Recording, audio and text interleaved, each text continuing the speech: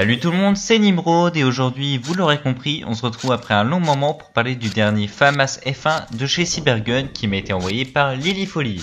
Difficile de le différencier du vrai, je vous l'accorde, pourtant ici il ne s'agit pas d'une arme mais bien d'une réplique AEG électrique pour les débutants.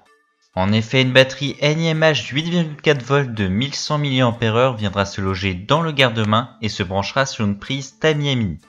L'accès à cette prise se fera en poussant la sûreté du sélecteur de tir vers l'avant et la mousse qui recouvre l'intérieur du garde-main vous assurera un bon maintien de la batterie dans la réplique.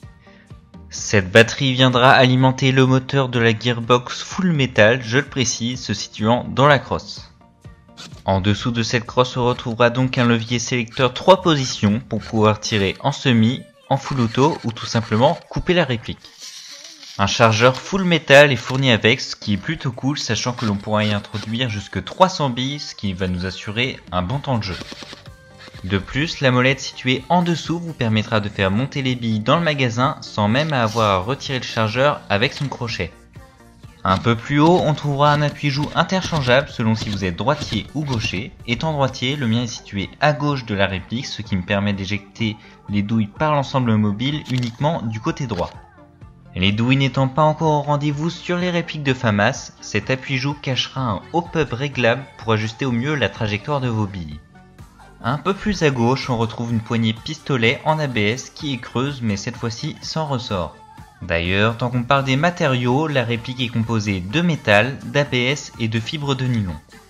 Les principales pièces métalliques sont le canon, les bipieds, le levier d'armement, la crosse, la queue de détente l'arcade de Comté ainsi que la bague d'enfoncement de grenade et le manchon cache-flamme situé au bout du canon.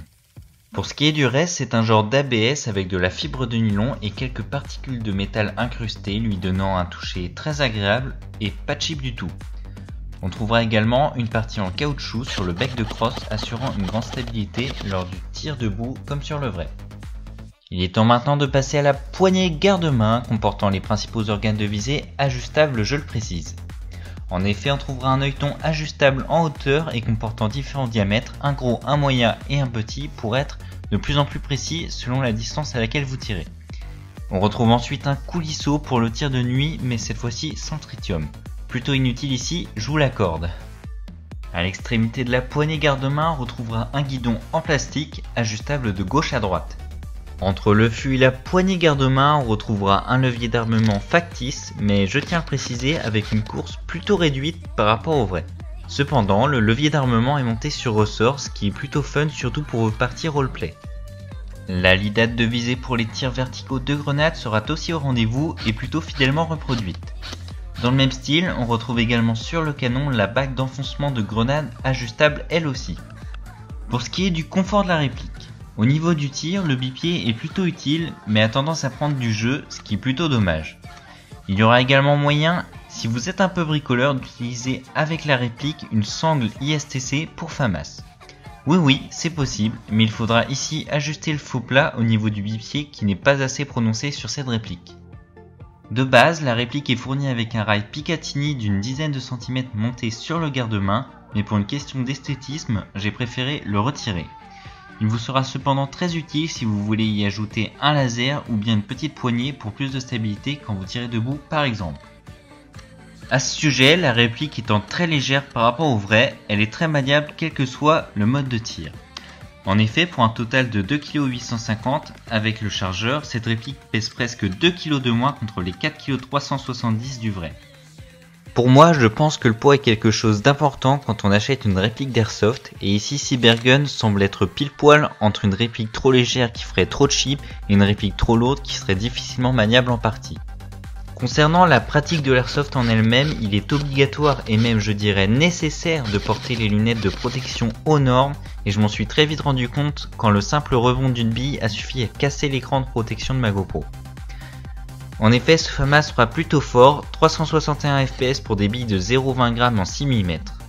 Ces 1,3 joules sont donc à manipuler avec précaution si vous ne voulez pas faire trop mal à vos potes en partie. Par contre, n'espérez pas avoir de très grande portée puisqu'au-delà des 60 mètres, les billes ne seront plus efficaces. Je tenais également à remercier Lily Follies qui m'a envoyé cette réplique qui m'a surprise de par son réalisme. En effet, ayant le vrai entre les mains, je sais de quoi je parle, et là les proportions sont respectées au millimètre près, et ça, ça fait plaisir. Niveau budget, on est sur du 200 euros avec le chargeur, qui, je tiens à le préciser, n'indique pas quand la batterie est chargée, donc n'oubliez pas de surveiller vos batteries lors de la recharge. Le prix peut paraître assez élevé pour une première réplique, mais elle le vaut largement. De plus, la garantie 5 ans pourra peut-être vous conforter dans votre choix. Ah oui, j'oubliais, prévoyez aussi l'achat d'une housse pour transporter et conserver au mieux la bête. Elle sera encore mieux conservée que dans le polystyrène du carton de base. Sur ce, je vous laisse sur ces images en musique. C'était Nimrod. Bye tout le monde